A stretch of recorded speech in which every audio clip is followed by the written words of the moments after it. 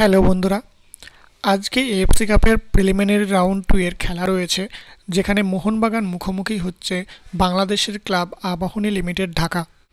আজ আমরা আলোচনা করব সেই ম্যাচে মোহনবাগানের ফার্স্ট ইলেভেন কী হতে পারে এবং আবাহনী লিমিটেড ঢাকার কীরকম হতে পারে প্রথম একাদশ।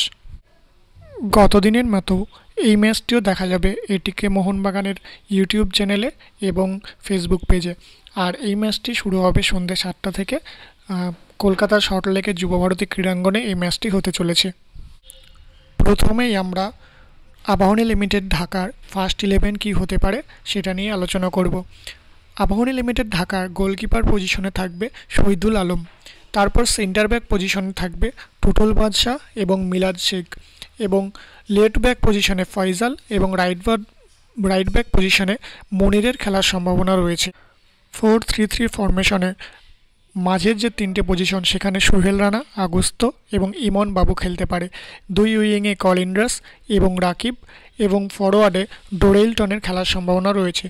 যদিও বলা হচ্ছিল ডোরেলটন কিছুটা ইনজিওর্ড বাট যে, যা মনে হচ্ছে তাতে ডোরেলটন এই ম্যাচে শুরু থেকেই খেলবেন।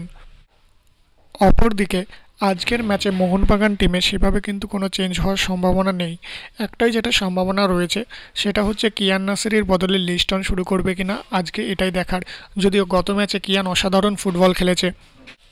গত ম্যাচে গোলকিপার পজিশনে আরশানোয়ার শেখ দুর্দান্ত খেলেছে, সুতরাং ধরেই নেওয়া যায় এই ম্যাচেও আরশানোয়ার শেখই শুরু করবে। মোহনবাগানের পুরো টিম কি হতে পারে? একবার তাও বলে দিই। Tiri, Joni Kauko, David Williams, Hugo Boumous, Manvir Singh Subhasish Bose, Pritam Kotal, Deepak Tangri Arsh Anwer Shaikh Prabir Das এবং কিয়ান নাসিরি অথবা লিস্টন। ভিডিওটি যদি ভালো লেগে থাকে প্লিজ বন্ধুরা সাবস্ক্রাইব করে এবং পাশে থেকো। আর ভিডিওটি দেখার জন্য তোমাদের সবাইকে অনেক অনেক ধন্যবাদ।